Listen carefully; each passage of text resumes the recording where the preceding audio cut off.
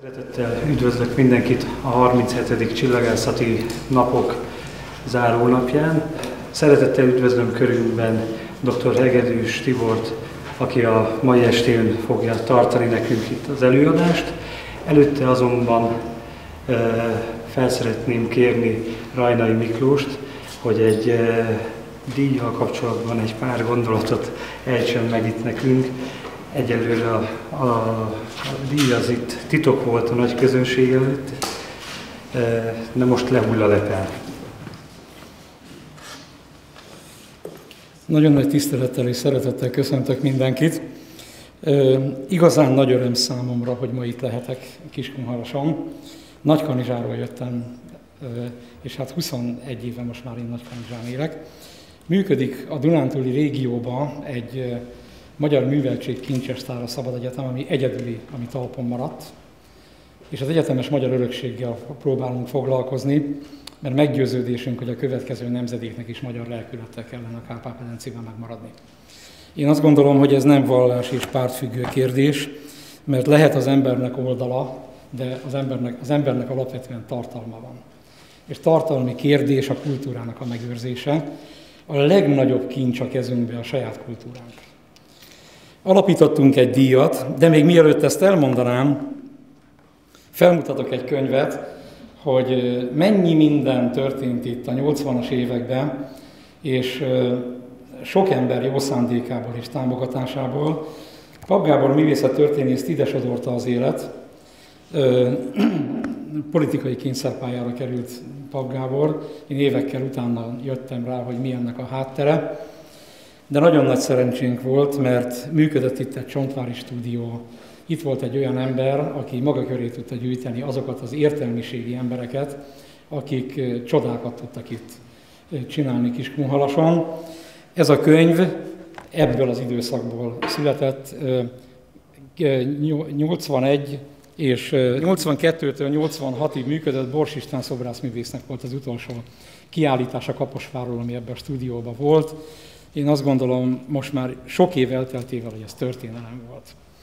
És Gábort segítve már akkor a Kiskunhalasi csillagvizsgálóba szinte hihetetlen, amit a Balog István segítségként, illetve szaktudásával ennek a stúdiónak is biztosította fotózással, meg hát lehetővé tette a magyar olajipar kiváló közössége, fölismerve azt, hogy ez a csillagvizsgáló egy, egy nagyon szép és nagyon nemes dolog, ez a bemutató csillagvizsgáló. Nagyon sokan kezdtük el támogatni Pista munkáját.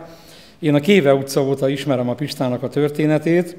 Egy csodálatos dolog, amit ő 50 év alatt létrehozott, és a Magyar Műveltség Kincsestára Szabad Egyetem által alapított díj, ez a Magyar Műveltség díj, azért fog most itt átadásra kerülni, mert csak olyan ember kaphatja ezt a díjat, alapvetően politikai párt nem javasolhat.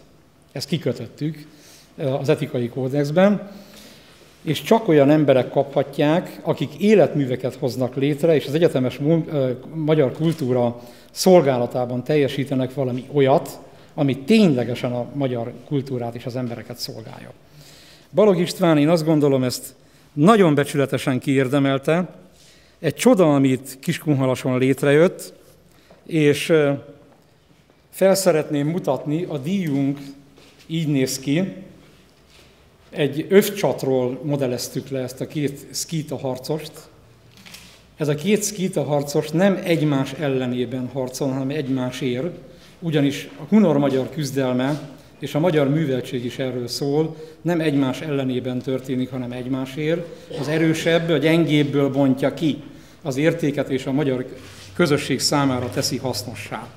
A tányérra is egy fafaragó ugyanezt rá modellezte. Egy pici sufniba dolgozik Jelölőség Gyula, fafaragó, valamikor gépész technikus volt, és most már 21 néhány éve csodákra képes a Gyula bácsi. Ezt ő önzetlenül esztergálja, készíti a díjakat.